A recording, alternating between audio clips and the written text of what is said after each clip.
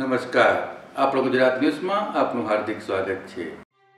બોટાદના સાળંગ પડદા ગામે એક અબોલ પશુ ઘોડી પર તીક્ષ્ણ હથિયાર વડે હુમલો કરી પગ ભાંગી નાખ્યાની ફરિયાદ ગઢડા પોલીસ સ્ટેશનમાં નોંધાઈ છે.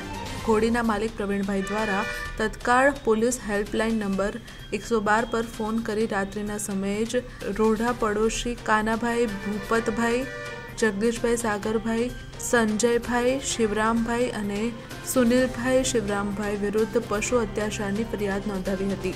પોલીસની હાજરીમાં ઘોડીનો કબજો મેળવી આજે બપોર પછી આ ઘોડીને સારવાર અર્થે યુટિલિટી મારફતે જૂનાગઢ પશુ દવાખાનામાં સારવાર માટે મોકલવામાં આવી છે. વાડીએથી આવતા ઘોડી બાજુના ખેતરમાં ગઈ. એવડાય લોકોએ બે ઘોડીઓ હતી, એક ઘોડેને કાઢી મૂકી અને મારી ઘોડેને બે વાંટી અને ધારિયાના ઘાથી એનો પગ કાપી નાખ્યો. પછી થોડી વાર પછી મને એવડે લોકોએ ફોન કર્યો કે તમારી ઘોડી ઘૂસાણે છે. એ ઘૂસાણાના કારણે હું દોડાદોડી જ્યો એટલે મેં ઘોડીને જોઈ. ઘોડીને જોઈ એટલે એવડે વ્યક્તિને કીધું કે ભાઈ, મારી ઘોડે ઘૂસાણે નથી, પગ જોઈને કીધું કે ભાઈ, મારી ઘોડે ઘૂસાણે નથી, મારી ઘોડીને તમે ધારિયાના ઘા મારેલા છે. એટલે એવડાય લોકોએ ના પાડે કે અમે ધારિયાના ઘા મારેલા નથી. તો કીધું ઘોડે અહીંયા ભલે પડે, તો કીધું હવે મારે સરકારી કાર્યવાહી કરવી જોઈએ પછી સરકારમાં કાર્યવાહી કરી ગરડા પોલીસ સ્ટેશનમાં જઈને એફર લખાઈ.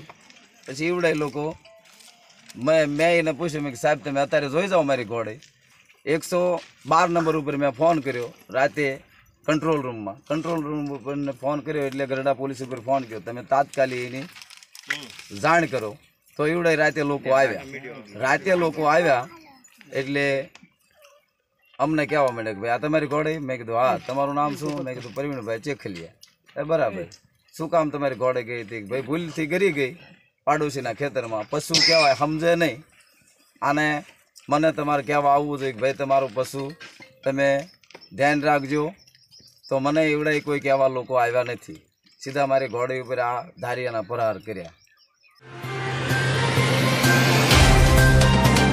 तो व्हाट्सएप ट्विटर फेसबुक इंस्टा जहाँ भी आपका अकाउंट है इसे शेयर बटन के द्वारा वहाँ पर शेयर करें